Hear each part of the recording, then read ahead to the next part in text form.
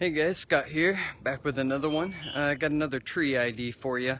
Uh, the last video I just showed you was fat wood in the pine tree, and what we want to look at here is often called muscle wood, sometimes referred to as ironwood.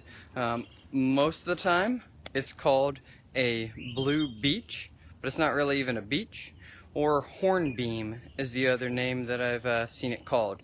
If you take a look at this tree, it is looks like it has ridges like muscles.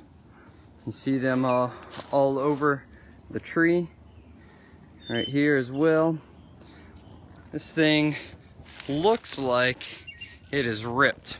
So um, the uses of this tree for us as outdoorsmen is that this is a very dense, strong hardwood. So if you needed to make an improvised handle for one of your tools you may have broken the field, this would be a great tree to go to. Also for structures, this is a strong wood.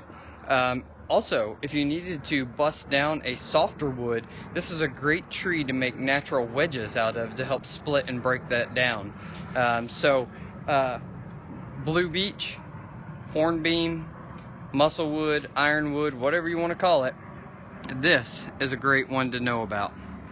Again, all these little ridges and ripples all over it. Um, they do like water. And if you take a look right behind me, there's a creek and right there it is. They're going to grow in a lot of similar, similar places as the river birch. So this gives you one more uh, tree ID that you can throw in your toolbox when you're out in the woods and you need something strong and durable. This would be a tree to look for. Thanks for watching guys. God bless.